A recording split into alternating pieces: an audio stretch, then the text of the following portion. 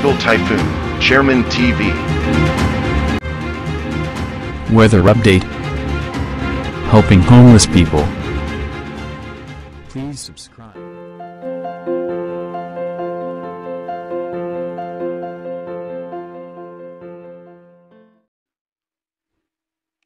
Magandang umaga po. Ito po ang ating weather update ngayong araw, March 22, 2022.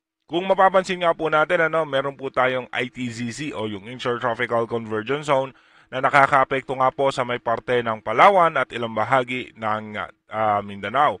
At yung easterlies naman po natin ano, ay nakakaapekto po yan dito sa may parte ng Bicol Region at ng uh, Metro Manila.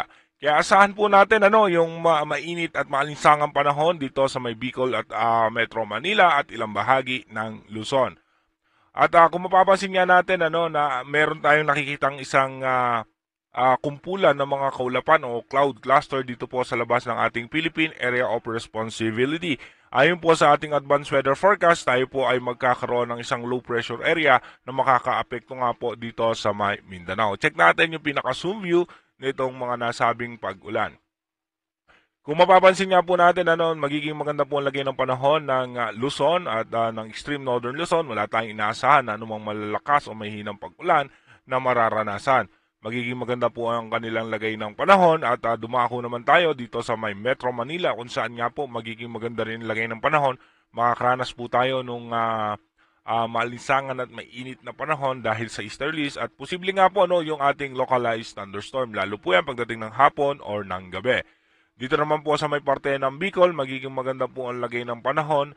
Makakaranas lamang po tayo no, ng mga biglaang pagbuhos ng mga mahina at katamtamang pagulan dahil nga po yan sa ating uh, easterlies. Magiging maganda rin naman po ang lagay ng panahon dito sa may uh, Mindoro Province at wala po tayo inaasahan anumang sama ng panahon na makakaapekto sa may Mindoro. Dumako naman tayo dito sa may uh, Visayas kung saan nga makikita natin no, may mga posibleng pag-ulan dahil po yan sa ating ITZC o yung Intertropical Convergence Zone. Lalo po dito sa may parte ng Tacloban, sa may Cebu City at maging dito po sa may Bacolod. Dito naman po sa may parte ng uh, Mindanao, sa may Cagayan de Oro, makikita natin may posibleng mahina at katamtamang pagulan at magiging maganda naman po ang lagay ng panahon ng ilang bahagi ng Mindanao. Pagdating naman po dito sa may Palawan kung saan nga may makakapal na kaulapan, hatid pa rin ang ating ITCZ, makikita nga po natin na merong uh, posibleng mahina at katamtamang uh, pag-ulan.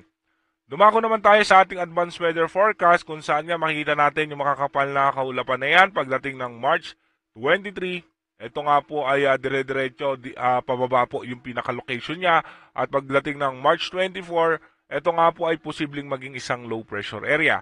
Then pagdating naman ng March 25, makikita nga po natin ano, na posible nga po yung uh, cloud cluster maging isang low pressure area pero mababa po ang tsansa na maging isang ganap na bagyo. By uh, March 26, makikita nga po natin na magiging maganda pa rin po ang lagay ng ating bansa. At uh, pagdating naman po ng March 27, makikita nga natin yung low pressure area, no? Yung low pressure area na nakikita natin, ito nga po ay makakaapekto dito sa may uh, Mindanao. At pagdating ng March 28, ito nga pong low pressure area ay tatawid po yan dito sa may Mindanao at uh, malulusaw din po agad. Pero makikita nga po natin ano, sa may labas ng ating bansa, meron na naman po tayong isang low pressure area dito sa may eastern section yan ng Davao. Then pagdating naman po ng March 29, makikita nga po natin no, yung low pressure area dito sa labas ng ating uh, Philippine Area of Responsibility at makakaranas po ng pag-ulan dito nga po sa may Palawan. March 30 nga po, makikita natin ano, yung low pressure area, mapapansin natin no, yung kanyang pinaka-direction is uh, pababa po yan. At uh, sa ngayon po, no, mababa ang tsansa na pumasok siya sa ating bansa. By March 31, makikita nga po natin yung makakapal na kaulapan na yan ay makakapekto yan dito sa may Mindanao at ilang bahagi ng Palawan. At yung low pressure area na napansin natin, sa ngayon nga po, makikita natin pasubsob po yung kanyang direksyon. So sa ngayon po, ito pa lang po yung ating available data para po dito sa ating uh, mga minomonitor na low pressure area na posibleng makaapekto sa ating bansa. Manatili po tayo nakatutok sa ating advanced weather forecast para nga po sa mga posibilidad na pagbabago na nakikita natin ng mga weather system dito sa ating advanced weather forecast.